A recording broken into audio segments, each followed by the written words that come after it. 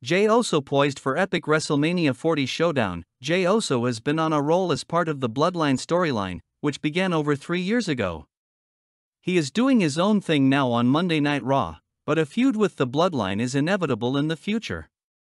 Keeping that in mind, WWE has a big WrestleMania 40 match planned for Jey Uso. Jimmy and Jey Uso have been feuding since Jimmy Uso betrayed Jey at SummerSlam last year.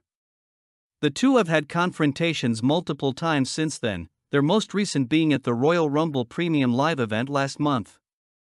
Fans are clamoring for the Uso brothers to finally square off against each other at the showcase of the Immortals.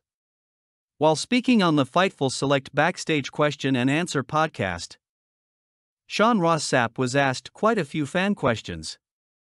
One fan in particular asked him if the plan was for Jimmy Uso to square off against Jey Uso at WrestleMania 40. Ross Sapp noted that as far as he knows, that was the plan.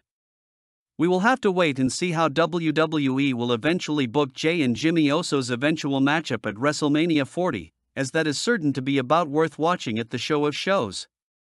Friends, what do you think of Jey Uso's plans for WrestleMania 40?